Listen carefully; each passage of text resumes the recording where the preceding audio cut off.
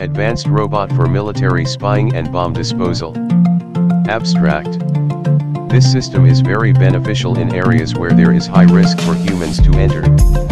This system makes use of robotic arm as well as robotic vehicle which helps not only to enter an area involving high risk but also to pick whatever object it wants to. The system also includes night vision camera which will not only allow viewing whatever will be recorded in daytime but also during night. The whole system is controlled by RF, radio frequency, remote.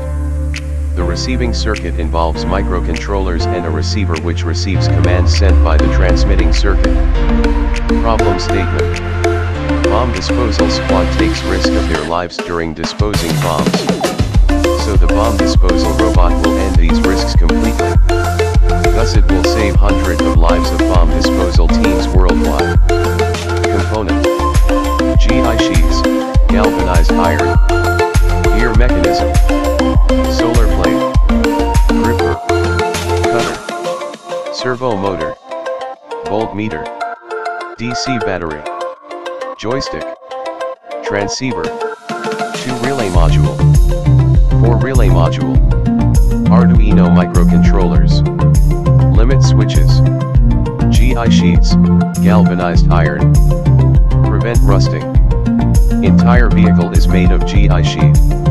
Light and can bear different loads. Gear mechanisms. For larger force, a gear mechanism in use to help the gripper to apply a larger force. Solar plat.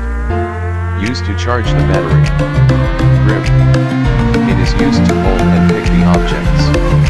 Cutter. Used to cut wires. Servo motor. DC battery. The DC battery is used to provide the whole system power. It is the main source for vehicle and its all electronics parts. Joystick. Used to control the whole robotic system. Used to perform all the operations.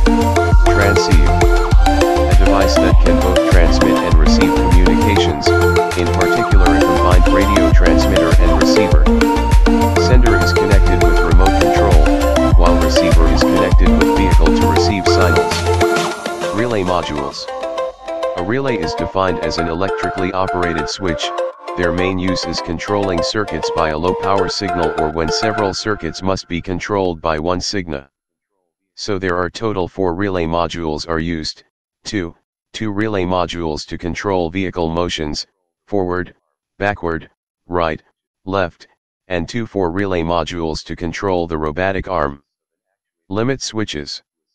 A limit switch is an electromechanical device that consists of an actuator mechanically linked to a set of contacts. When an object comes into contact with the actuator, the device operates the contacts to make or break an electrical connection. We used limit switches in order to prevent any unnecessary damage to project. System design. The robotic base.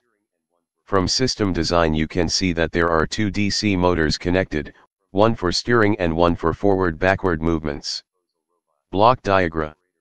From diagram you can see the working mechanism of bomb disposal robot, the operator will control the whole system from a safe range by using a robot. Objective.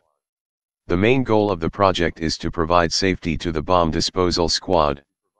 Provide a remote monitoring and controlling application.